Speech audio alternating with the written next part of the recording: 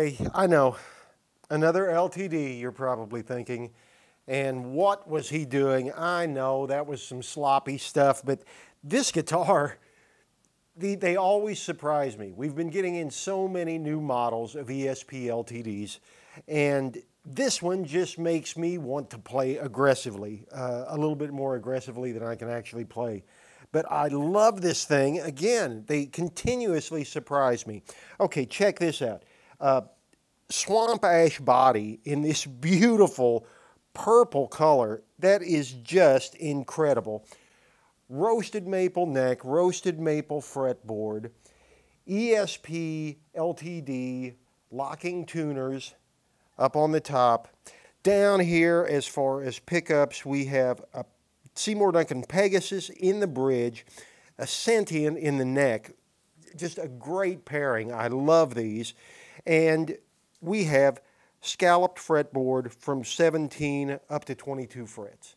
There's a lot of pros and cons about scalloped fretboards, but one of the other things that this guitar has on it that I absolutely love, extra jumbo stainless steel frets. And I know that there's a buzz about stainless steel on the forums, and some people say that they're just the end all be all.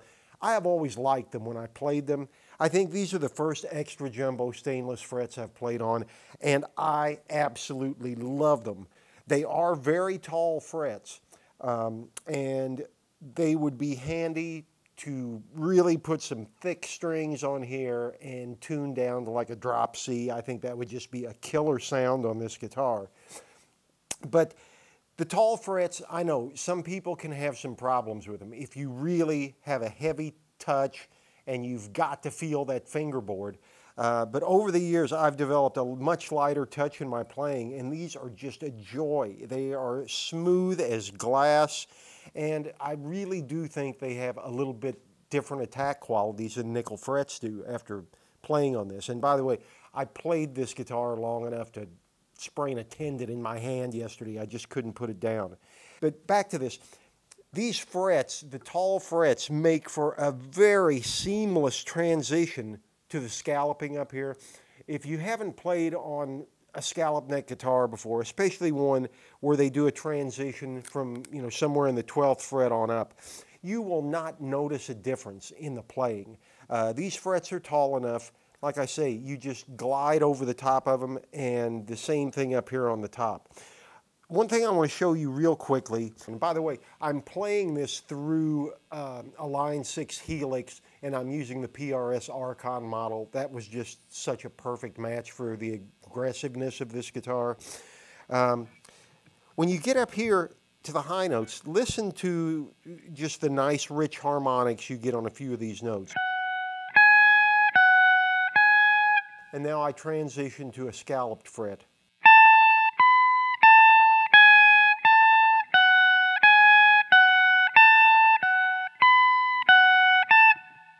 I'm hoping you can hear what I'm hearing here, but the, the rich overtones of the sound that you get from this full fretboard, they become just pure fundamental tones, very focused and glassy.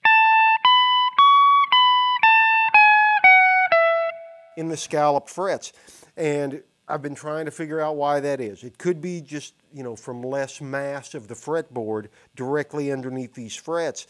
But I love this sound up here, and I wish they would have done it from the 12th fret up instead of just from the 17th to the 22nd fret on here. Um, This is a 25 and a half inch scale instrument.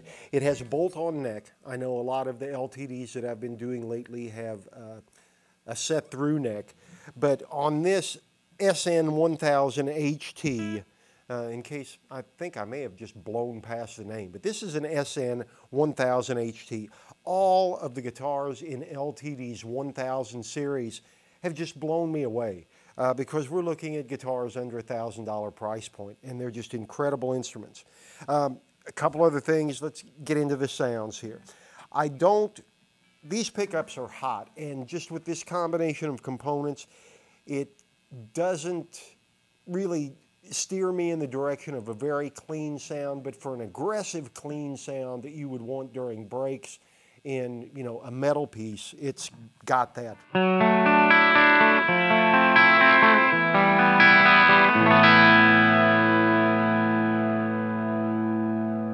And I'll go to the neck pickup here.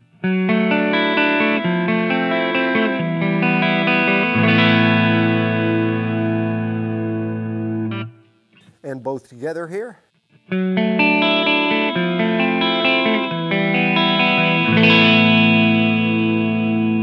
Gorgeous. Haven't even gotten into the fact that we have uh, coil splitting on both of these pickups as well. And a very nice touch they did here.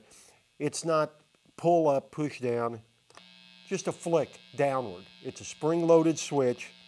So humbucker, single coil, humbucker, single coil, easy as that. It's a fast switch that you don't have to think about while you're playing. But um, let's check out the tones of that as well.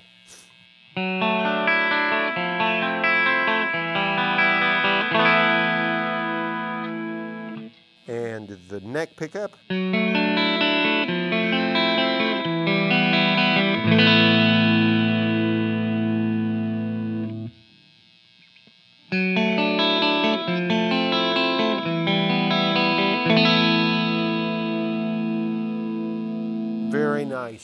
Just, and one thing I should probably point out, the middle position when you are in single coil mode, it's not a hum, hum canceling position. You don't have reverse wound pickups here that you may see in some other configurations. This is a guitar that's meant to be full and rich and heavy, and that is exactly what it is. Um, it has the thin U-shaped neck that all of the LTDs in this price range has. The roasted maple neck is just a joy to play. Stainless steel frets are just a big plus on this. But still, overall, what they've done to this guitar is incredible in the price point. LTD continues to amaze me. Uh, oh, also, Hipshot fixed bridge on here. Great bridge on this guitar. The ESP LTD line uses quality components in every guitar I've picked up.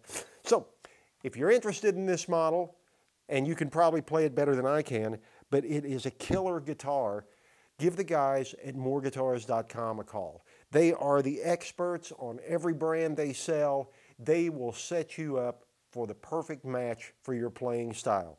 So give them a call. Until next time, have a great day. See you soon.